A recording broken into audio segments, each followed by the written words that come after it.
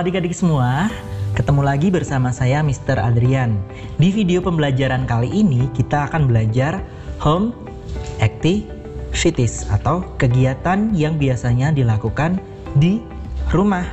Nah, nanti ada banyak kegiatan di sini, ada beberapa aktivitas ya yang dilakukan di rumah, misalnya di kamar, di ruang tamu, di halaman, dan lain sebagainya.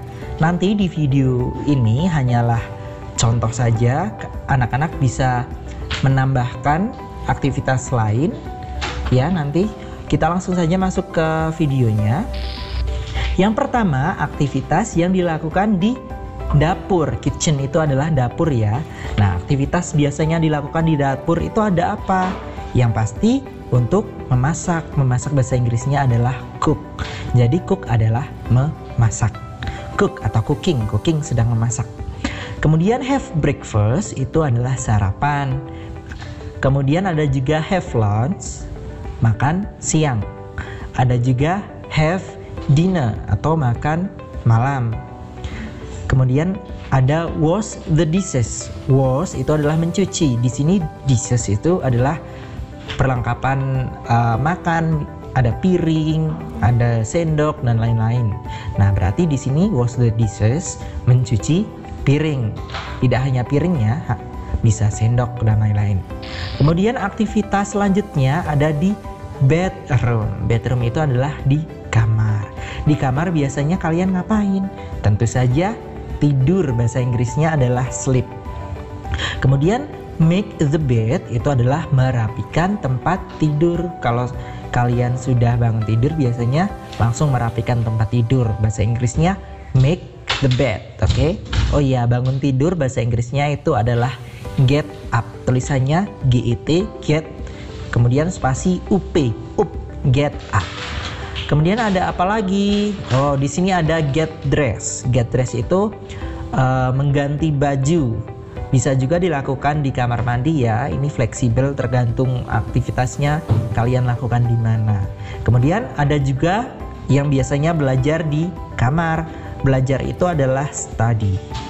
Kemudian dilanjutkan lagi kegiatan atau aktivitas yang dilakukan di bathroom. Bathroom itu adalah kamar mandi.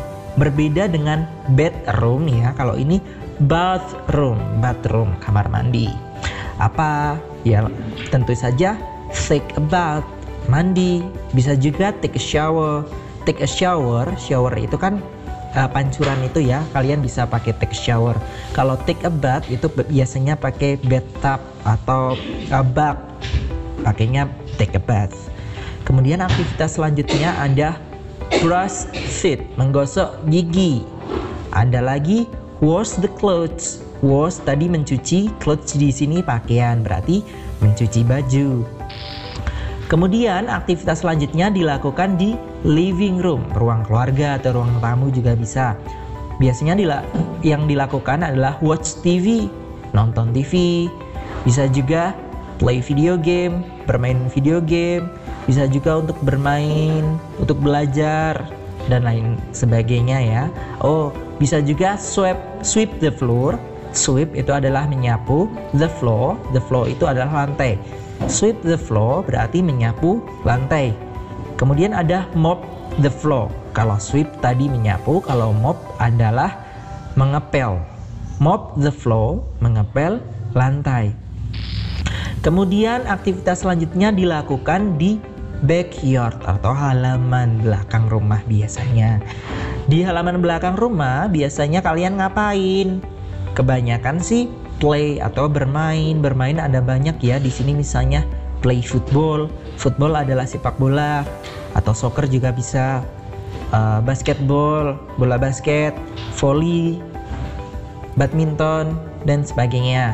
Ada juga hide and seek. Hide and seek itu petak umpet. Bisa juga marbles, play marbles. Marbles adalah kelereng ada juga yang digambar, contoh digambar itu adalah sedang lompat tali, yaitu bahasa Inggrisnya rope skipping. Nah, ini adalah contoh aktivitas-aktivitas yang biasa dilakukan di rumah. Aktivitas tentunya nanti aktivitasnya ada banyak, di sini cuma contoh saja. Si, terima kasih ya sudah menonton videonya. Sampai ketemu lagi di video pembelajaran berikutnya. Bye bye. Thank you.